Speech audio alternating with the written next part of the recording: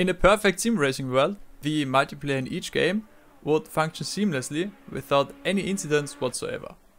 However, in a more realistic one, this is nearly impossible as there will always be some black sheep trying to undermine the system and thereby annoying innocent players. And I think it's pretty safe to say that all of you watching already were involved in an incident where you were the person at fault. Even I can say for myself that I had one or two moments where I let my attention slip and made a mistake. But honestly, as long as you didn't punch someone intentionally off, but made a genuine mistake, it's okay. I mean, we are all human after all. Anyway, the point I'm trying to make is that genuine mistakes can happen from time to time, but we should strive to minimize them. So, in this video, I'm gonna go over 5 key situations that often lead to sad mistakes and how to avoid them, as well as present one additional bonus tip at the very end. The first point I wanna go over, more often than not, isn't your fault. The classic I got punted by the person behind me, now my rear developed an own consciousness and has other ideas of where to go. Now, whether this is actually what happened, or you just lost it by yourself going over a bump, curb or whatever, doesn't really matter. What really counts is how you manage the imminent spin. Obviously, the best case scenario would be to catch the rear again and carry on as if nothing happened. But realistically speaking, in 90% of the cases, this won't happen. So what you wanna do instead is to step on your brakes as hard as you can the moment you notice it's too late to stop the spin. The reasoning for this is to make yourself, or rather the movements of your car, more predictable for the other folks around you. Since if you just let the spin happen, your car might do a near 180 and then suddenly turn sharply to either side and roll back on track. However, if you lock your brakes, your car will do a 180 and then keep on sliding in a straight line. Let's look at a bad example of what not to do to make matters more clear. Here, the driver got touched from behind, lost control, but didn't lock his brakes, which ultimately means his car makes a sudden and unexpected movement back on track. If he would have applied said technique here, the car would still be sliding in a straight line until it safely grinds to a halt somewhere off track. The most important thing to take away from this is to learn when to acknowledge that you are no longer in control of your car and protect the other cars around you from any further incident. Next on the list is probably the shortest but most impactful tip, especially for newer players. You know how for every actual race in the real world, a formation lap takes place that gives all drivers the opportunity to bring some temperature into their tires and brakes? Well, as long as you're not doing a CP race or a race with custom settings, we usually don't have this luxury in ACC.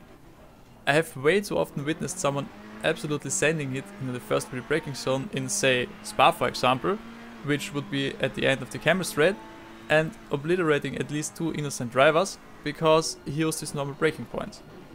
Not only are your brakes not up to temperature yet, but your tires also need at least one lap to get to acceptable grip levels. If you fully send it into any corner on the first lap, you're literally in double trouble. Luckily, to avoid this kind of situation is no wizardry. A general guideline I use is to quickly check the temperatures of my tires and brakes in the bottom right of the screen. And as long as the majority of my tires is bluish, or my brakes are purple, I'm gonna brake a considerable amount of distance earlier and won't fully commit to any risky moves. Another inconvenience are the communication and awareness on track. And no, by communication I'm not talking about the built-in text chat.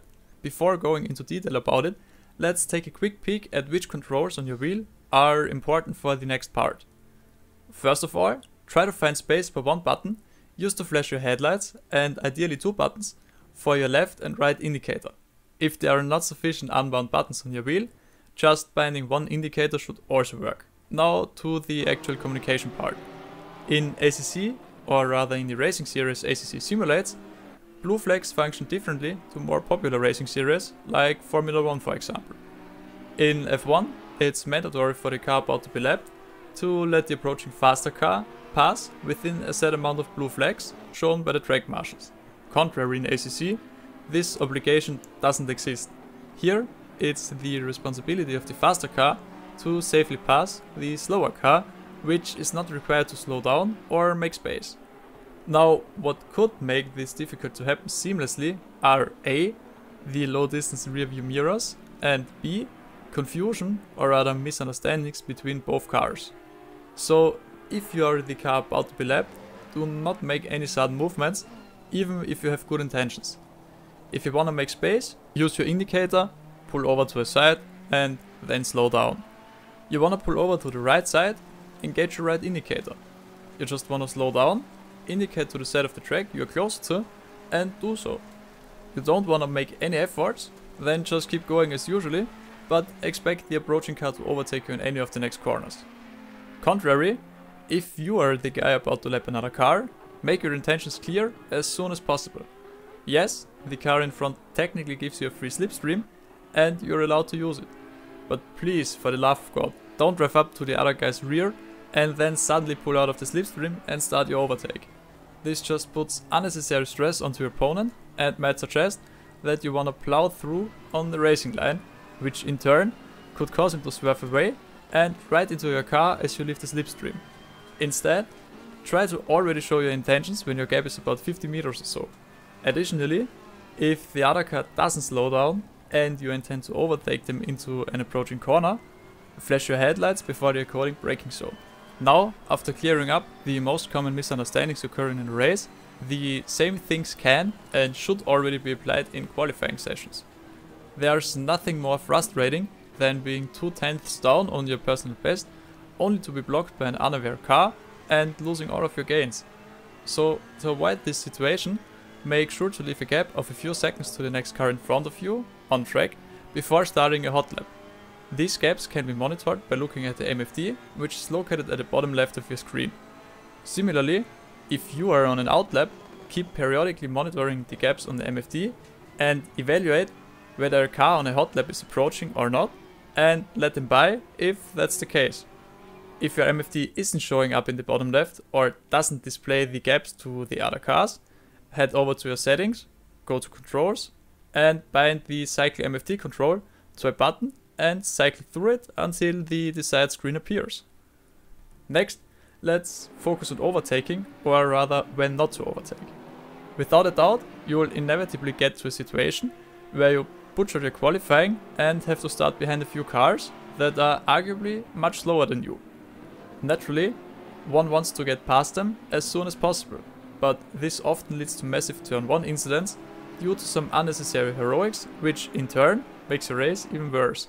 So instead of fully sending it into turn 1 or committing to a risky move around the outside or whatever, just wait for a safer opportunity, which is mainly the starting or back straight on almost every track.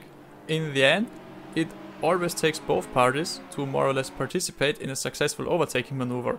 No matter how skilled you are, if your opponent is overwhelmed by the move you are trying to pull off, it's gonna result in a collision regardless. So the easier the move, the higher the rate of its success, and the more patient you are, the more successful your moves will be.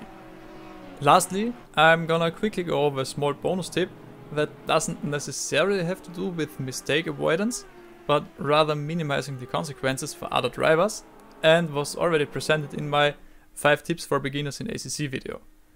If you've been in a place where it's difficult to get out of, or are stationary on track and unable to move because of severe damage or whatever, you can go back to the menus and select return to garage, which will immediately remove your car from the track and place you in your garage. Essentially, your progress in the current lap won't count and the time it would take to tow you back to the pits is added to the time it takes to repair your car. So yeah, that's it from my side.